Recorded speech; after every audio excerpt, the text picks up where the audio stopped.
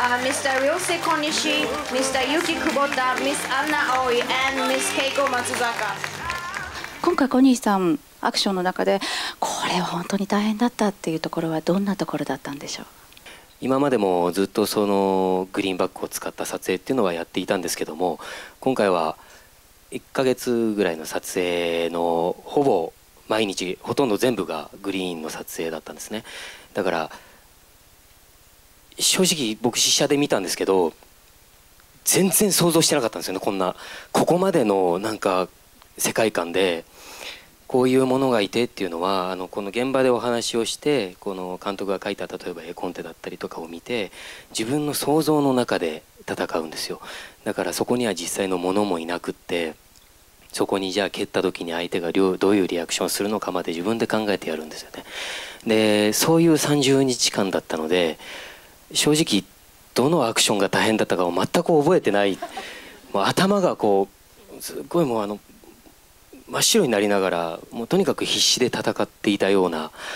気がします。でもあの出来上がった絵を見て自分が想像していたものよりもはるかにこうすごい、監督が作る独創性だったりとかそういうものが込められたキャラクターが相手だったのでなんかやってよかったなってすごく思います。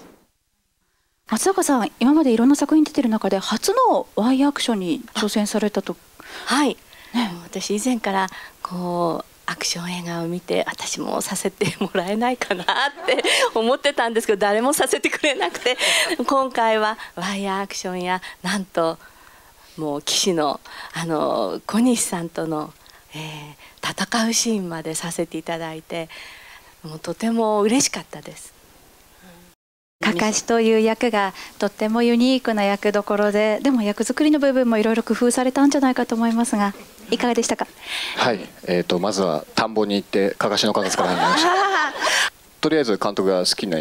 ふざけていいからということであのできる限りこの黄河との対比が出るようにあの派手にやらせてもらいました。バキッバキッつってバキッつって 監督とお仕事ご一緒してて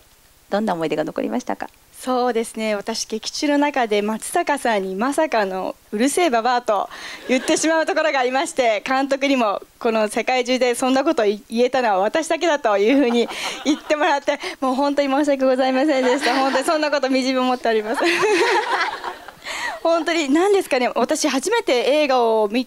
た時に私参加してるのに参加していないような気分になるぐらいもう新鮮で新しいこう感じを受けて本当に見入ってしまってああこの監督の世界観に入り込めたことが本当に嬉しいなって思うのと同時にこう皆さんとこう何ですかねガロの世界観を作れた一部になれたことが本当に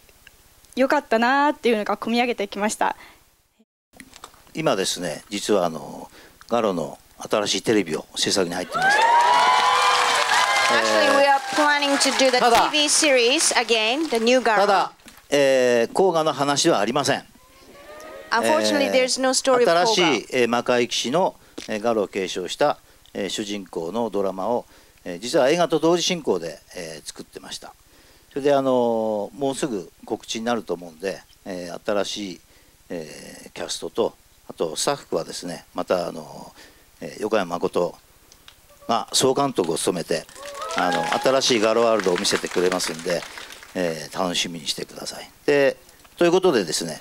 冴島甲賀の物語は本当に総国の魔流で、えー、おしまいです。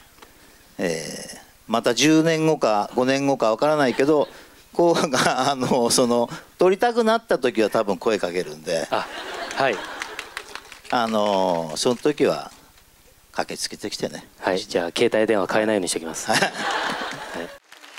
Thank you very much all the everybody